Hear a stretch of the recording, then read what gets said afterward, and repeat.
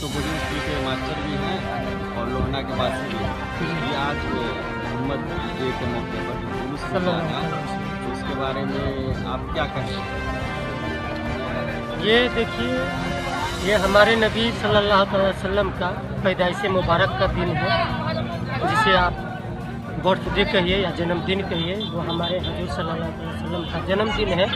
इस पर हम लोगों को ये उनके मर्तबा के लिए जुलूस निकालना ये बहुत बड़ी बात है। ये सामान्य है। इसको हर मुसलमान को एक मर्तबा की तरह से लेना चाहिए।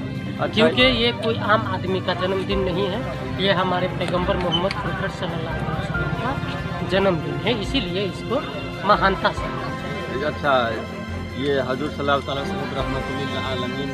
होकर दुनिया में आए नहीं सबके लिए रहमतुल्लिल आलमीन। तो इस जुलूस के मौके पर लोगों को किस तरह का मतलब अपना मुजाहरा दिखानी चाहिए, जिसके हिसाब से लगे कि हाँ ये मोहम्मद का, उम्मत ही जा रहा है।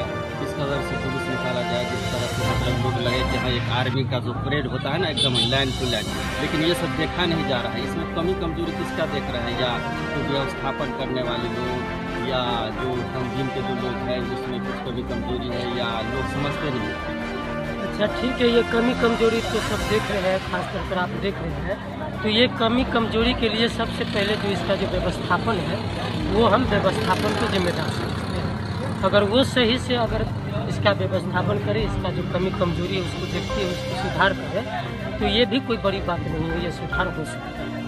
अब रहा इसमें कि करने के क्या चाहिए? तो ऐसे भी आप एक दो झड़प देख सकते हो जुलूस का, जिसमें मोहम्मद सल्लल्लाहु अलैहि वसल्लम के बारे में तराना, जिसे हम ना शरीफ कहते हैं, उनके बारे में कुछ अच्छा स्पीच देना, ये सब जुलूस में शामिल है। इसके अलावा और कोई ऐसा, कोई नारा जिससे लोगों तक ठेस पहुँचे, ऐसा किसी का नारा का कोई गुंजाइश नहीं क्योंकि हमारे मोहम्मद सल्लल्लाहु अलैहि वसल्लम ये लोगों के लिए और दुनिया के लिए रहमतुल्लामीन है।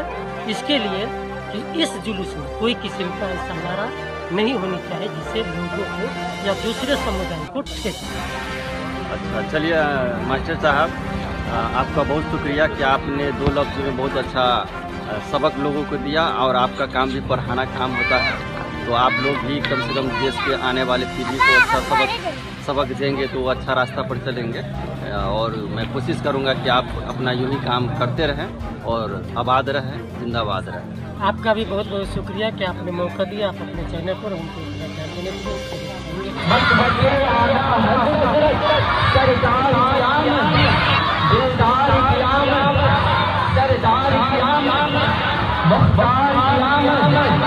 इतना अलाउद्दीन की राम पैदा आए नूर